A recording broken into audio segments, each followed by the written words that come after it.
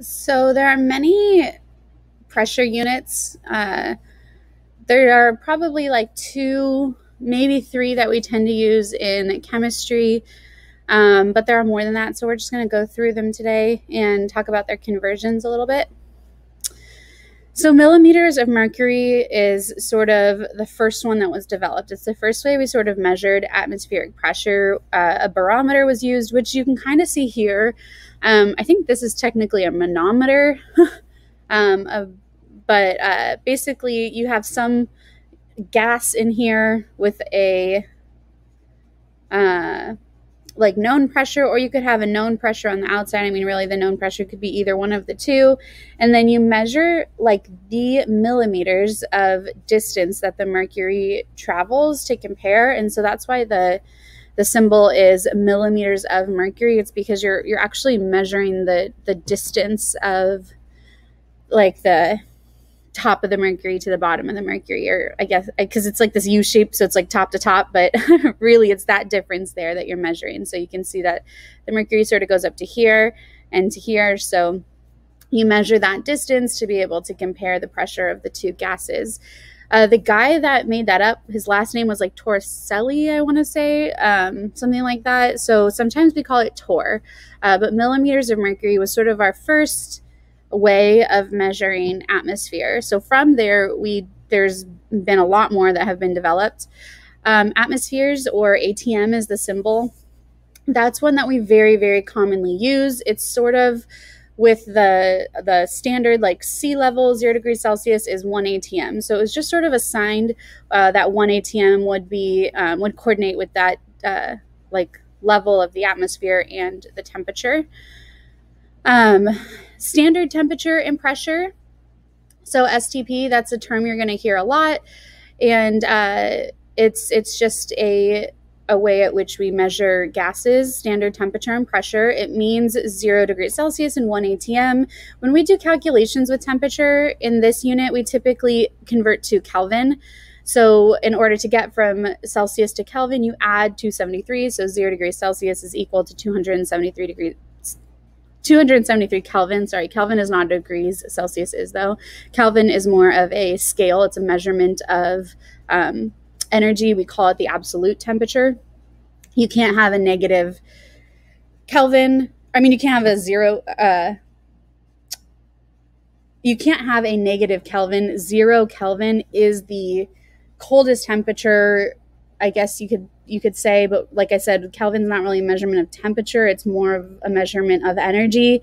So basically with no energy, if an atom had absolutely no movement, it would be at zero to zero Kelvin, but that is sort of a theoretical number. Um, even the most the coldest molecules still have a tiny bit of movement. The conversion between ATM to millimeters of mercury and torr because remember torr and millimeters of mercury are one to one but atm if atm is one that means uh, millimeters of mercury is 760 so that's the conversion factor that you're going to use to convert and i'll show you examples of those in your notebook. Um, as far as your like mole goes when you're converting to grams you use grams to mole like from the periodic table the molar mass. When you're converting to molecules you use the avogadro's number 6.022 times 10 to the 23rd if you're converting to volume at stp the constant that you use is 22.4 so that is a number that you should know Pascal is another way um, that we measure pressure. Uh, the symbol is PA. However, we typically use kPa, kilopascals, as our um, as our unit. Uh, just because a Pascal is, is very, very big um, when you compare it to ATM. Um, uh, one Pascal is is equal to one Newton per meter squared. So it was actually created by a mathematician, not a scientist. Um, we do use it. It's we use it less often than, than we use ATM or millimeters of mercury, but it is one that we do um, use on and off.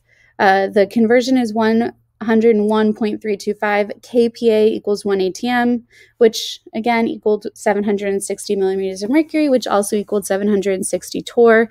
So all of these numbers are equal to each other. They can all be used as conversion factors. Again, we use kilopascals because pascals would be 101,325. That's just a really big number. So 101.325 is just easier to work with. So we use kilopascals typically, not pascals. Um, American units here in the United States, we use PSI, which stands for pounds per square inch. Uh, pounds and inches are not something that we use in science. Therefore, we also don't use PSI in science. However, if you are a diver, um, usually the um, the the gas in your the air in your gas in your like tank that you wear on your back that's measured in psi so when you see your um when you when you look at your they're called like secondaries and stuff like that. So I don't, I, I can't remember what the actual name is, but when you um, look at it, it, it's measured in psi. It's on a little, it's in like a little um, dial. Uh, we also do PSI in tires. So if you like look closely at your tires, um, usually there will be a PSI label there. This one actually also has a KPA label, so that's pretty neat. Um, but PSI is something you'll typically see on your tires too.